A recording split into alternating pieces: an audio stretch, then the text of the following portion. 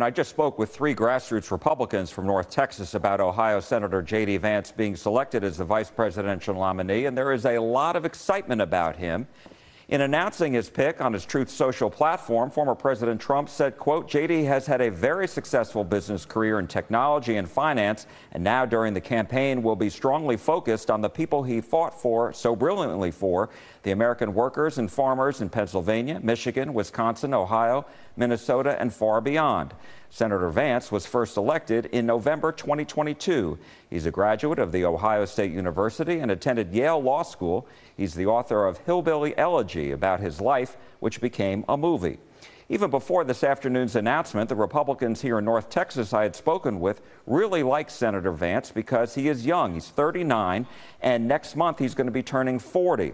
If Mr. Trump and he are elected in November, he'll become one of the youngest vice presidents. As mentioned, he doesn't have a lot of elected experience, just two years, which is more than Mr. Trump had when he was elected in 2016. Here's what North Texas Republicans are saying within the hour. I think it's a good pick. I think uh, JD has a great narrative. He has a wonderful history. It's a wonderful American story. He's young. He's energetic. That'll be that'll be a good choice for all of us. Uh, he's got a great biography, tremendous sterling educational credentials, signed up for the military after 9 11 to serve his country. And I think he's a tremendous selection and can really help Donald Trump make that case to the American people as we move forward to election day. No, JD is a great, uh, great pick. Uh, if you saw the movie about his life, Hillbilly Elegy, it's an incredible movie, and it, he's a he's a an overcomer. I, I think he's uh, the kind of person that can relate to anybody in our country, no matter where they come from. So, yeah, terrific t- pick. Senator Vance is set to give his nominating speech Wednesday night in prime time, one night before former President Trump gives his speech Thursday night in prime time. Uh, Jackie, give us a little bit about his background. Uh, we want to talk a little bit more about the pick specifically. Why is it so important, especially this year, and what does uh, he bring to the table?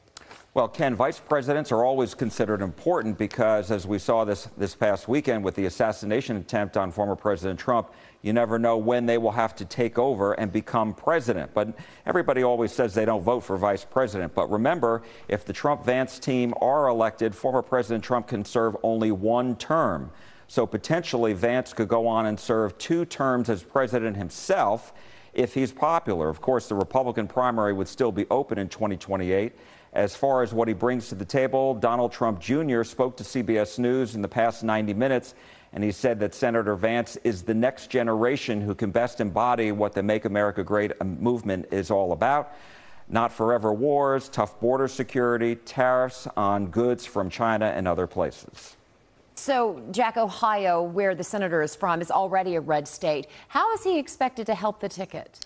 Well, Karen, while Ohio is already solidly Republican, the Trump campaign is hoping his Midwest and Rust Belt biography and values will help in crucial states that they will need to win this November. Battleground states that are considered the blue wall for President Biden, Wisconsin, where the Republican convention is being held, Michigan, Pennsylvania.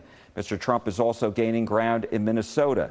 He needs at least one of those states, along with Arizona, Nevada, and Georgia, which he lost in 2020, but now lean Republican. So a lot going on here.